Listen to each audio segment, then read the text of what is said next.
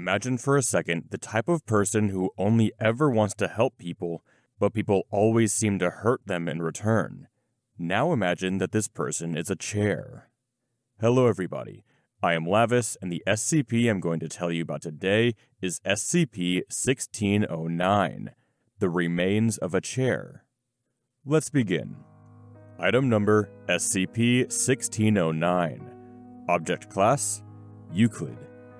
Special Containment Procedures SCP 1609 is contained at Storage Site 08 due to the difficulty of transporting it from that location.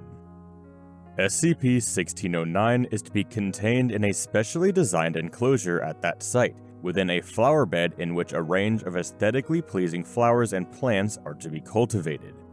It is to be used as mulch within this flower bed. The flower bed is to be tended regularly, and all visitors to the enclosure must remark on the beauty of the flower bed, with particular emphasis on the quality of the mulch. SCP-1609 is to be removed from the flower bed at regular intervals so that it can be treated with wood, metal, and fabric preservatives. Personnel are to announce their intentions in the presence of SCP-1609 before attempting to remove it for this purpose. Personnel assigned to SCP-1609 are required to wear plain clothes in order to prevent accidentally triggering a violent response from SCP-1609. No items with motors are allowed within a 200 meter radius of SCP-1609's containment area.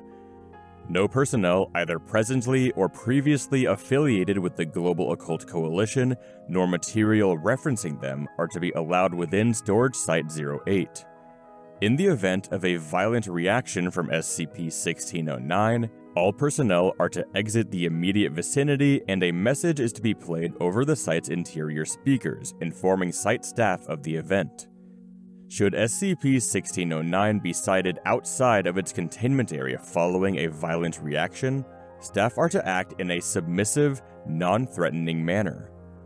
Formal clothing such as jackets, lab coats, protective clothing, jumpsuits, and particularly body armor are to be removed if possible in the case of such an event, and any weapons capable of damaging SCP-1609 are to be immediately discarded. Site staff are to ask SCP-1609 to return to containment without attempting to threaten or command it. Should SCP-1609 exit Storage Site 08, Agents are to be immediately dispatched in order to scan the surrounding area for SCP-1609 and if possible, retrieve it. At present, there exists no way to totally prevent SCP-1609 from breaching containment. Current containment procedures center on encouraging SCP-1609 to remain within its containment area. Description SCP-1609 is, at present time, a pile of splinters, wood chippings, furniture nails, and scraps of bleached leather and fabric, weighing in total approximately kilograms.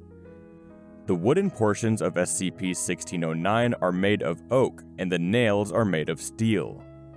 SCP-1609 is capable of teleportation, being capable of moving its entire mass instantaneously between two points without any known limit.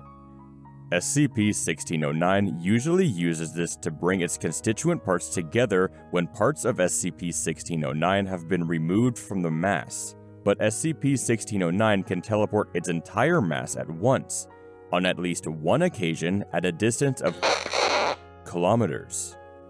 SCP-1609 is capable of splitting its mass, though it does this rarely. Any amount of material removed from SCP-1609's mass continues to display SCP-1609's properties.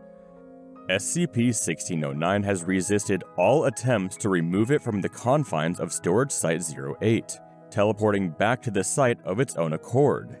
However, it has previously teleported out of Storage Site-08 for brief periods before returning although this has only happened on occasion since its arrival in Foundation custody. SCP-1609 appears to be in some way sentient, as research indicates it is able to perceive its environment in a manner that is currently poorly understood, and is able to react to stimuli in an intelligent fashion. Details of SCP-1609's behavior are poorly understood, although it has been ascertained that it will react in self-preservation, and will react aggressively to certain stimuli which it connects with a threat to its existence. Aside from this, SCP-1609 appears to prefer situations in which it is utilized by humans, and will actively seek out situations where it can be put to use if it is left idle.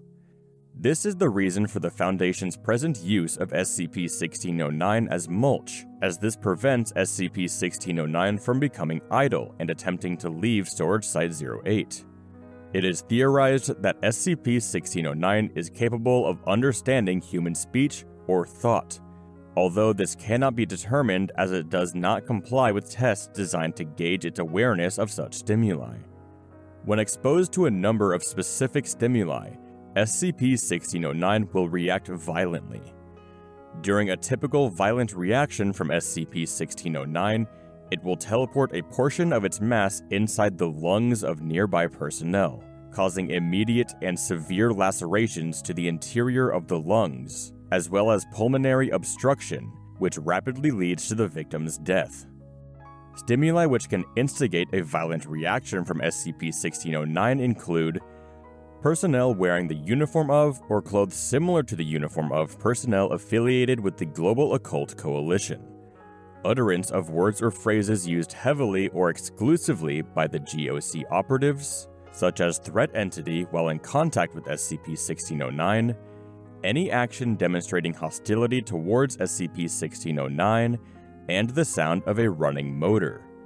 Violent responses from SCP-1609 are rare, only such events have occurred since containment, and SCP-1609 quickly reverts to a passive state after such a response if it does not continue to feel threatened.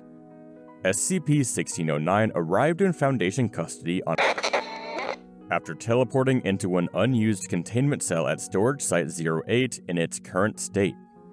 Careful investigation has revealed that SCP-1609 was originally a large chair made of varnished oak and bleached leather, carved in the form of a reclining woman in a restful state.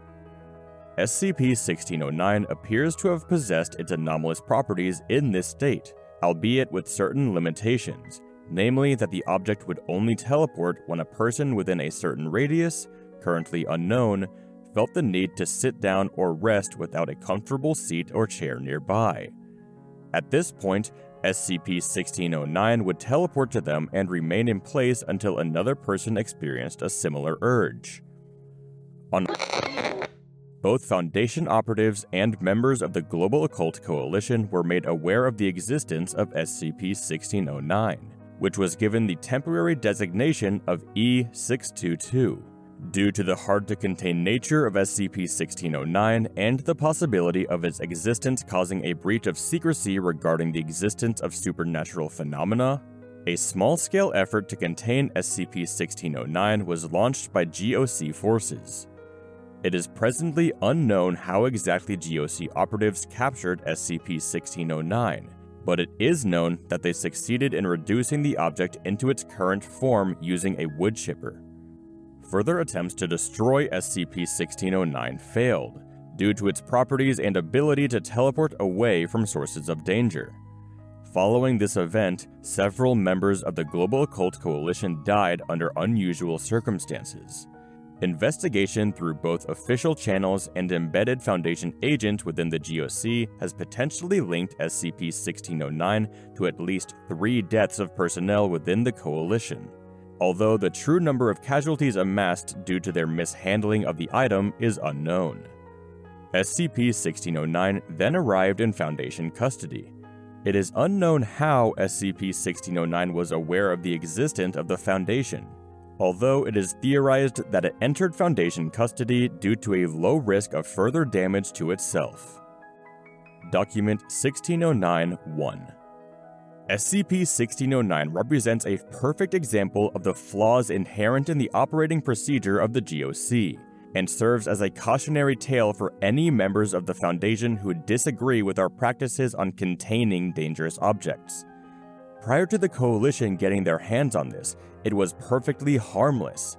A chair which teleports to you when you need a seat is normal compared to most of the stuff that we deal with on a regular basis. When they put it through a wood chipper, it got hurt, scared, and angry, so it lashed out at them. By trying to protect the world by destroying it, they inadvertently made the situation a whole lot worse. SCP 1609 went from being harmless to deadly in the space of a few minutes because of the GOC, and we had to clean up the mess. Thankfully, SCP 1609 is pretty simple for us to deal with. So long as we don't do anything stupid around it, it won't fight back and it won't try to leave. Even if it does, it usually comes back. I think I've worked out why. It came to us because it was afraid of the people who had hurt it. That's why it always comes back. It's afraid of the rest of the world now, and it's looking to us for protection. This is why we have special containment procedures instead of special destruction procedures. If you break something, it's broken forever. When you try to destroy an anomaly, you can't take back your mistakes. That's what SCP 1609 has to tell us. This is why we're right and the GOC is wrong, people. Dr. Sievert. Thank you very much for listening. If you liked what you heard and would like to hear more, please consider liking and subscribing. It would be greatly appreciated. Also, if there are any other SCPs that you would like to hear me read, please leave them in the comments below. Have a nice day.